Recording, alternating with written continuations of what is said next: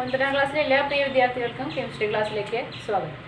അപ്പോൾ ഇന്ന് നമ്മുടെ പുതിയ അധ്യായമാണ് chapter five acids bases salts ആസിഡുകൾ ബേസുകൾ ലവണങ്ങൾ. അപ്പോൾ ക്ലാസ് തുടങ്ങുന്നതിന് മുമ്പ് ഒന്ന് രണ്ട് കാര്യങ്ങൾ നിങ്ങൾ മുൻ മുൻ ക്ലാസ്സുകളിൽ പഠിച്ചത്. അപ്പോൾ ആസിഡുകൾ ബേസുകൾ അവയ്ക്കൊക്കെ ഉദാഹരണങ്ങൾ ചെറിയ ക്ലാസ്സിൽ പഠിച്ചിട്ടുണ്ട്. ഇനി ആസിഡും ബേസും എങ്ങനെ തിരിച്ചറിയാമെന്ന് ലിറ്റ്മസ് പേപ്പർ ഉപയോഗിച്ചുള്ള പരീക്ഷണവും നിങ്ങൾക്കറിയാം. ലിറ്റ്മസ് പേപ്പർ രണ്ട് രണ്ട് നിറത്തിലുണ്ട് അല്ലേ? രണ്ട് കളറിലുണ്ട്. റെഡ് ലിറ്റ്മസ് പേപ്പർ ഉണ്ട്. അതുപോലെ ബ്ലൂ ലിറ്റ്മസ് പേപ്പർ ഉണ്ട്. നീലയുണ്ട് ചുവപ്പുണ്ട് ഇനി ആസിഡിലും ബേസിലും ലിറ്റ്മസ് പേപ്പറിന്റെ നിറം എന്താണെന്ന് തിരിച്ചറിയാൻ നമുക്ക് ചെറിയൊരു പരീക്ഷണം കാണാം. അമോണിയ സൊല്യൂഷൻ രണ്ട് ലിറ്റ്മസ് പേപ്പറിലും ചേർക്കുക. നിറമാറ്റം ശ്രദ്ധിക്കുക. രണ്ടും നീല നിറമായി. അതിനർത്ഥം ബേസിക സ്വഭാവമുള്ള പദാർത്ഥമാണ് അമോണിയ അടുത്തത് അസറ്റിക് ആസിഡ് രണ്ട് ലിറ്റ്മസ് പേപ്പറിലും ചേർക്കുന്നു. നിറം മാറ്റം ശ്രദ്ധിക്കുക. രണ്ട് ലിറ്റ്മസിന്റെയും നിറം ചുവപ്പാണ്. ഹൈഡ്രോക്ലോറിക് ആസിഡ് രണ്ട് ലിറ്റ്മസിലും ചേർക്കുന്നു. രണ്ട് ലിറ്റ്മസിന്റെയും നിറം ചുവപ്പാണ്. അതായത് ആസിഡിക് പദാർത്ഥങ്ങളാണ് ലിറ്റ്മസ് പേപ്പർ ചുവപ്പ് നിറമായി കാണിക്കുന്നത്. പിന്നെ അടുത്തത് വാട്ടർ ജലം. ഇപ്പോൾ ജലം ചേർത്തപ്പോൾ നിറമാറ്റമൊന്നുമില്ല അതായത് ന്യൂട്രലാണ് വാട്ടർ. അടുത്തത് ബേക്കിംഗ് സോഡ. ബേക്കിംഗ് സോഡ രണ്ട് ലിറ്റ്മസ് പേപ്പറിന്റെയും നിറമാറ്റം ശ്രദ്ധിക്കുക. നീല നിറമാവുന്നു. അതായത് ബേസിക സ്വഭാവമുള്ള പദാർത്ഥമാണ് ബേക്കിംഗ് സോഡ. ഇനി തന്നിരിക്കുന്ന ടേബിളിൽ പദാർത്ഥം ലിറ്റ്മസിന്റെ നിറമാറ്റം സ്വഭാവം എന്നിവ എഴുതണം. ആദ്യത്തെ വിനാഗിരി നമ്മൾ പരീക്ഷണത്തിൽ കണ്ടു. ലിറ്റ്മസിന്റെ നിറമാറ്റം ചുവപ്പ് നിറം സ്വഭാവം ആസിഡിക് സ്വഭാവം. അടുത്തത് ചുണ്ണാമ്പ് വെള്ളം അതായത് ലൈം വാട്ടർ ലിറ്റ്മസിന്റെ നിറം ബ്ലൂ കളർ നീലയാണ് സ്വഭാവം ബേസിക സ്വഭാവം. മൂന്നാമത്തെ സോപ്പ് സൊല്യൂഷൻ സോപ്പ് ലായനി ലിറ്റ്മസിന്റെ നിറം ബ്ലൂ ആണ് നീല നിറമാണ് സ്വഭാവം ബേസിക സ്വഭാവം. അടുത്തത് ഹൈഡ്രോക്ലോറിക് ആസിഡ് അത് നമ്മൾ കണ്ടു. ലിറ്റ്മസിന്റെ നിറം ചുവപ്പ് നിറമാണ് അതായത് ആസിഡിക് സ്വഭാവം.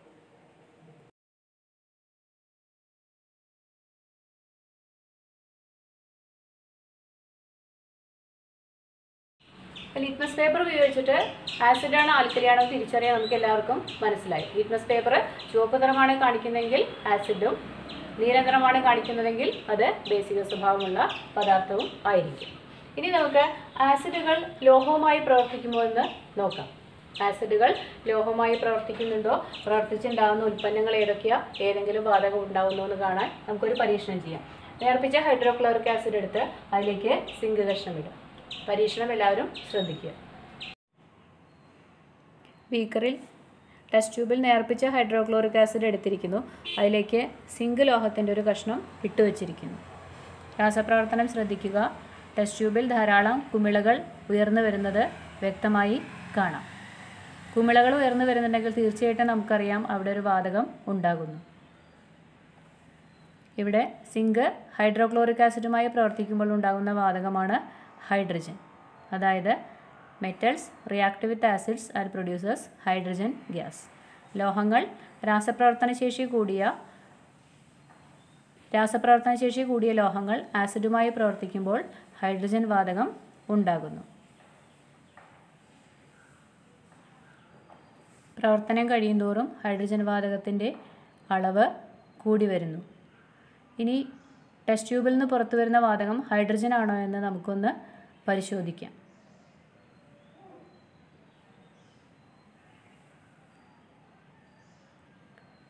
ഒരു തീപ്പെട്ടിക്കുള്ളി കത്തിച്ച് കാണിക്കുന്നു. പരീക്ഷണം എല്ലാവരും കണ്ടുവല്ലോ അല്ലേ? അപ്പോൾ ടെസ്റ്റ് ട്യൂബിൽ അല്ലെങ്കിൽ ബീക്കറിൽ ഉണ്ടായ വാതകം ഏതാണ്? ഹൈഡ്രജൻ ആണ്. അപ്പോൾ ഹൈഡ്രജൻ എങ്ങനെ ഉണ്ടാവുന്നത് നമ്മൾ തിരിച്ചറിഞ്ഞു അല്ലേ? ഒരു എരിയുന്ന തീക്കൊള്ളി അല്ലെങ്കിൽ ഒരു ബേണിംഗ് സ്റ്റിക്ക് കാണിച്ചപ്പോൾ it burns with a pop sound ഒരു ശബ്ദത്തോടു കൂടി കത്തി. അപ്പോൾ ഉണ്ടായ വാതകം ഹൈഡ്രജൻ ആണെന്ന് മനസ്സിലായി. അപ്പോൾ മെറ്റൽസ് ലോഹങ്ങൾ ആസിഡുമായി പ്രവർത്തിക്കുമ്പോൾ ഉണ്ടാകുന്ന വാതകമാണ് ഹൈഡ്രജൻ ഇനി സിങ്കുമായിട്ടുള്ള പരീക്ഷണമാണ് നമ്മൾ ചെയ്തത് അല്ലേ? അപ്പോൾ നമുക്ക് ഇതുപോലെ മാഗ്നീഷ്യമായിട്ടുള്ള പരീക്ഷണം ചെയ്യുകയാണെങ്കിലും ഇതുപോലെ തന്നെ ആയിരിക്കും. മാഗ്നീഷ്യം ആണെങ്കിൽ ഉണ്ടാകുന്ന salt magnesium chloride plus hydrogen സിങ്കുമായിട്ട് പ്രവർത്തിക്കുമ്പോൾ സിങ്ക് ക്ലോറൈഡും ഹൈഡ്രജനും ഉണ്ടാകുന്നു മാഗ്നീഷ്യവുമായി പ്രവർത്തിക്കുമ്പോൾ മാഗ്നീഷ്യം ക്ലോറൈഡും ഹൈഡ്രജനും ഉണ്ടാകുന്നു that means reactive metals react with acids and produces hydrogen gas രാസപ്രവർത്തന ശേഷി കൂടിയ ലോഹങ്ങൾ ആസിഡുമായി പ്രവർത്തിക്കുമ്പോൾ ഹൈഡ്രജൻ വാതകം ഉണ്ടാകുന്നു. കാർബണേറ്റുകൾ ആസിഡുമായി പ്രവർത്തിക്കുമോ? ഇത് തിരിച്ചറിയാൻ നമുക്കൊരു പരീക്ഷണം ചെയ്യാം. കാൽസ്യം കാർബണേറ്റ് ആണ് നമ്മളിവിടെ എഴുതിയിരിക്കുന്നത്. കാൽസ്യം കാർബണേറ്റ് കാൽസ്യം കാർബണേറ്റ് എന്ന് പറയുമ്പോൾ മാർബിളാണ് കാൽസ്യം കാർബണേറ്റ് നേർപ്പിച്ച ഹൈഡ്രോക്ലോറിക് ആസിഡുമായി പ്രവർത്തിക്കുമ്പോൾ ഒരു വാതകം ഉണ്ടാകുന്നു ആ വാതകം ഏതാണെന്ന് നമുക്ക് തിരിച്ചറിയണം.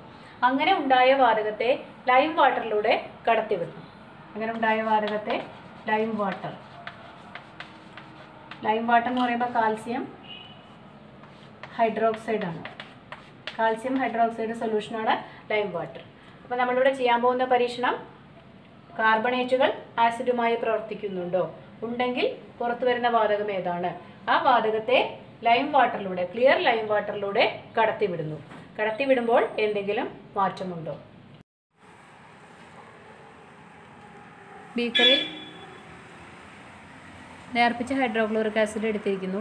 അതിലേക്ക് മാർബിൾ പൊടി കാൽസ്യം കാർബണേറ്റ് പൗഡർ ഇടുന്നു.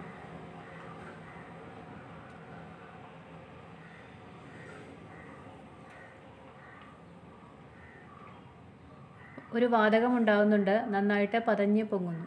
അപ്പോൾ ഉണ്ടാകുന്ന വാതകം കാർബൺ ഡൈ ഓക്സൈഡാണ് നമ്മൾ കത്തിച്ച മാച്ച് സ്റ്റിക്ക് കാണിക്കുമ്പോൾ അത് കെട്ടുപോകുന്നു. അതിനാൽ ഉണ്ടാകുന്ന വാതകം കാർബൺ ഡൈ ഓക്സൈഡ് ആണെന്ന് തിരിച്ചറിയാം. ഇനി നമുക്ക് ഈ കാർബൺ ഡൈ ഓക്സൈഡ് വാതകത്തെ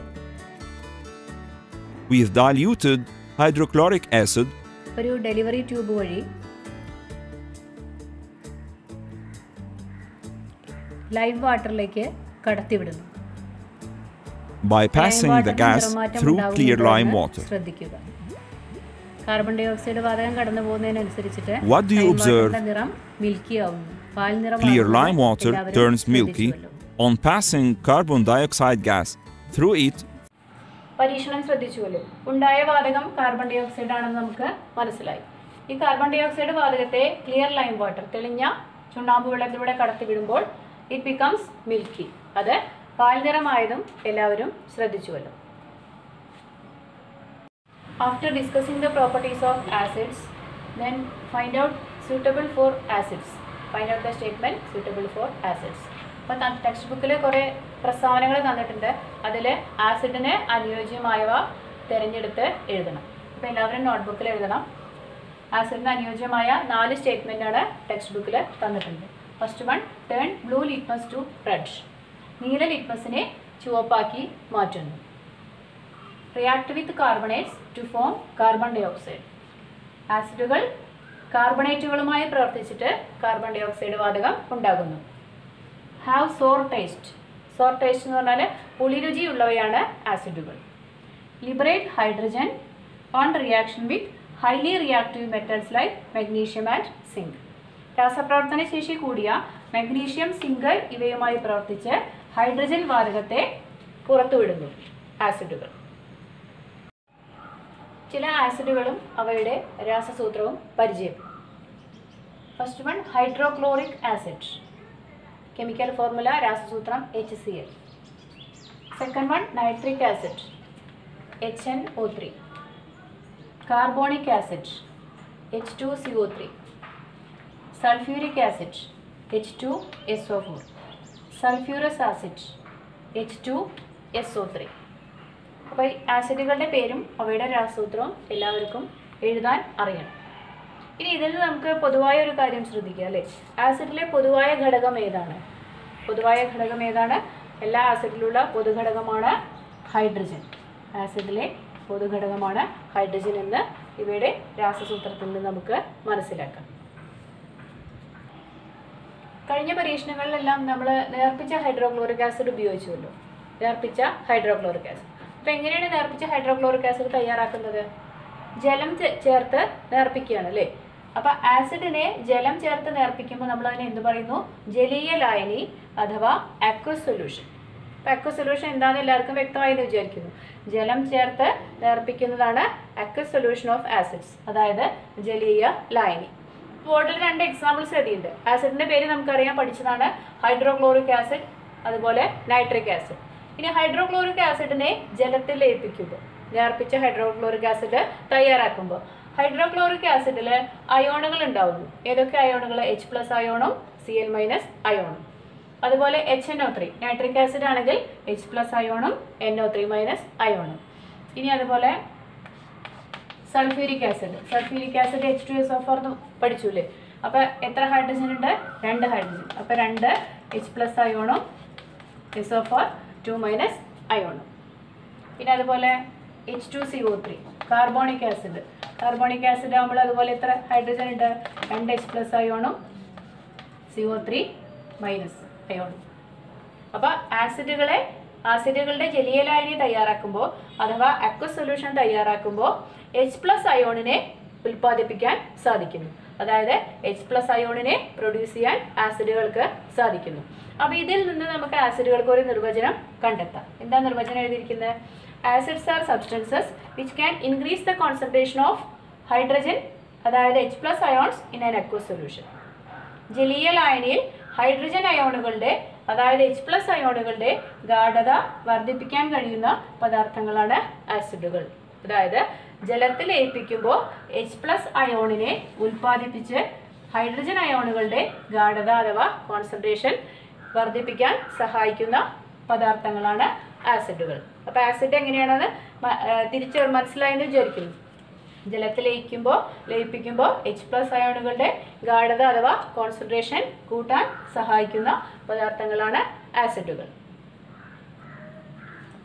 അപ്പോൾ ആസിഡുകൾ ജലത്തിൽ ലയിപ്പിക്കുമ്പോൾ എച്ച് പ്ലസ് അയോണുകൾ ഉണ്ടാകുന്നു ഈ എച്ച് പ്ലസ് അയോണുകൾ സ്റ്റേബിൾ അല്ല സ്ഥിരതയുള്ള അയോണല്ല അപ്പോൾ എച്ച് പ്ലസ് അയോണുകൾ ജലത്തിൽ ലയിപ്പിക്കുമ്പോൾ വാട്ടറുമായി റിയാക്ട് ചെയ്ത് ജലവുമായി പ്രവർത്തിച്ചിട്ട് എച്ച് ത്രീ ഒ പ്ലസ് അയോണുകൾ ഉണ്ടാകുന്നു ഈ എച്ച് ത്രീ ഒ പ്ലസ് അയോണിനെ പറയുന്ന പേരാണ് ഹൈഡ്രോണിയം അയോൺ അപ്പോൾ അക്വ സൊല്യൂഷൻ ആസിഡിന്റെ അക്വ സൊല്യൂഷൻ അല്ലെങ്കിൽ ജലീയ ലായനി തയ്യാറാക്കുമ്പോൾ ആസിഡ് എച്ച് പ്ലസ് അയോണായി മാറുന്നു എച്ച് പ്ലസ് അയോൺ ജലവുമായി പ്രവർത്തിച്ച് ഹൈഡ്രോണിയം അയോൺ ഉണ്ടാകുന്നു അപ്പോൾ ആസിഡുകളുടെ പൊതുവായ ഗുണങ്ങൾക്ക് കാരണം ഏതാണ് എച്ച് പ്ലസ് അയോണുകളാണ് acids present in the given substances? Lime juice Lime juice, the acid present is citric acid. Curd. എന്ന് പറഞ്ഞാൽ തൈര്. തൈരിലുള്ളത് ലാക്റ്റിക് ആസിഡ് ടാമറിൻഡ് ടാമറിൻഡ് എന്ന് പറഞ്ഞാൽ പുളി. പുളിയിലുള്ളത് ടാർട്ടാറിക് ആസിഡ് വിനീഗർ വിനാഗിരി വിനാഗിരിയിലുള്ള ആസിഡാണ് acetic acid next you have to discuss the basicity of acids അതായത് ആസിഡ് ആസിഡുകളുടെ ബേസികത എന്താണെന്ന് മനസ്സിലാക്കുക. Basicity is the number of hydrogen ions donated by one molecule of an acid. Listen again, basicity is the number of hydrogen ions donated by one molecule of an acid is called basicity. അതായത് അതായത് ഒരു acid തന്മാത്രയ്ക്ക് വിട്ടുകൊടുക്കാൻ കഴിയുന്ന hydrogen അയോണുകളുടെ എണ്ണമാണ് ബേസികത ഒരു acid തന്മാത്രയ്ക്ക് വിട്ടുകൊടുക്കാൻ കഴിയുന്ന hydrogen അയോണുകളുടെ എണ്ണമാണ് ബേസികത അപ്പോൾ ഹൈഡ്രോക്ലോറിക് ആസിഡിൽ ഒരു ഹൈഡ്രജൻ അയോണിനെ വിട്ടുകൊടുക്കാൻ പറ്റും. അതായത് ഇവിടെ എത്ര ഹൈഡ്രജൻ ആറ്റുണ്ടോ അത്രയും ഹൈഡ്രജൻ അയോണിനെ വിട്ടുകൊടുക്കാൻ പറ്റും. അതായത് എച്ച് പ്ലസ് അയോണായി മാറാൻ സാധിക്കും. അപ്പോൾ എച്ച് സി എല്ലിൽ ഒരു ഹൈഡ്രജൻ ആറ്റാണുള്ളത് അതുകൊണ്ട് ഒരു ഹൈഡ്രജൻ അയോൺ ഉത്പാദിപ്പിക്കാൻ സാധിക്കും അതുകൊണ്ട് ഈ ആസിഡിനെ മോണോബേസിക് അഥവാ ഏക ബേസിക് ആസിഡ് എന്ന് പറയുന്നു. ഇനി അടുത്തത് H N O three H N O three എന്ന് പറയുമ്പോൾ നൈട്രിക് ആസിഡ് ആണ്. നൈട്രിക് ആസിഡിൽ എത്ര ഹൈഡ്രജൻ ഉണ്ട്? ഒരു ഹൈഡ്രജൻ ഉണ്ട് അപ്പോൾ അതിനെ ജലീയ ലായനി അക്വ സൊല്യൂഷൻ ഉണ്ടാക്കുമ്പോൾ എങ്ങനെയായിരിക്കും? അതിന് ഒരു എച്ച് പ്ലസ് അയോണിനെ പ്രൊഡ്യൂസ് ചെയ്യാൻ കഴിയും ഉൽപ്പാദിപ്പിക്കാൻ സാധിക്കും. അപ്പോൾ ഒരു എച്ച് പ്ലസ് അയോൺ ആയതുകൊണ്ട് അതിനെ എന്ത് പറയുന്നു വീണ്ടും? മോണോ ബേസിക് അഥവാ ഏക ബേസിക് ആസിഡ് എന്ന് പറയുന്നു. പിന്നെ അടുത്തത് സൾഫ്യൂരിക് ആസിഡ് ആണ് അല്ലേ? അപ്പോൾ സൾഫ്യൂരിക് ആസിഡിൽ രണ്ട് ഹൈഡ്രജൻ ഉണ്ട്. അപ്പോൾ തീർച്ചയായിട്ടും നമുക്ക് മനസ്സിലാക്കാം. രണ്ട് എച്ച് പ്ലസ് അയോണിനെ പ്രൊഡ്യൂസ് ചെയ്യാൻ ഹൈഡ്രജൻ സൾഫ്യൂരിക് ആസിഡിന് സാധിക്കും. അപ്പോൾ അതിന്റെ അയണൈസേഷൻ എങ്ങനെയാണെന്ന് ശ്രദ്ധിക്കുക അപ്പോൾ സൾഫ്യൂരിക് ആസിഡിൽ ആദ്യം എച്ച് ടു എസ് ഫോറിൽ ഒരു ഹൈഡ്രജനെ ഹൈഡ്രജൻ അയോണായി മാറുന്നു. അപ്പോൾ എച്ച് പ്ലസ് അപ്പോൾ ബാക്കി വരുന്നത് H S O four minus അതായത് എച്ച് പ്ലസ് അയോണും ബൈ സൾഫേറ്റ് അയോണും ഉണ്ടാകുന്നു. അപ്പോൾ ഈ ബൈസൾഫേറ്റ് അയോണിൽ വീണ്ടും ഒരു ഹൈഡ്രജൻ ഉണ്ട് അല്ലേ? അപ്പോൾ ബൈസൾഫേറ്റ് അയോൺ വീണ്ടും വിഘടിച്ച് എന്തായി മാറും? എച്ച് പ്ലസ് അയോണും എസ് ഒ ഫോർ മൈനസ് അയോണുമായി മാറുന്നു. അപ്പോൾ നമുക്ക് ഇതിനെ ഒരുമിച്ചിട്ട് എങ്ങനെ എഴുതാൻ പറ്റും? വളരെ സൾഫ്യൂരിക് ആസിഡ് എന്തായിട്ട് മാറുന്നു? ആദ്യം ബൈസൾഫേറ്റ് അയോണായി മാറുന്നു പിന്നെ സൾഫേറ്റ് അയോണായി മാറുന്നു. അപ്പോൾ അതിന് എത്ര എച്ച് പ്ലസ് അയോണിനെ പ്രൊഡ്യൂസ് ചെയ്യാൻ പറ്റും? ഉൽപ്പാദിപ്പിക്കാൻ സാധിക്കും. രണ്ട് എച്ച് പ്ലസ് അയോണിന്. അപ്പോൾ നമുക്ക് ഒരുമിച്ച് എങ്ങനെ എഴുതാം? H two S O four gives രണ്ട് ഹൈഡ്രജൻ ആണ് അതുകൊണ്ട് രണ്ട് എച്ച് പ്ലസ് അയോണിനെ ഉണ്ടാക്കാനായിട്ട് സാധിക്കും.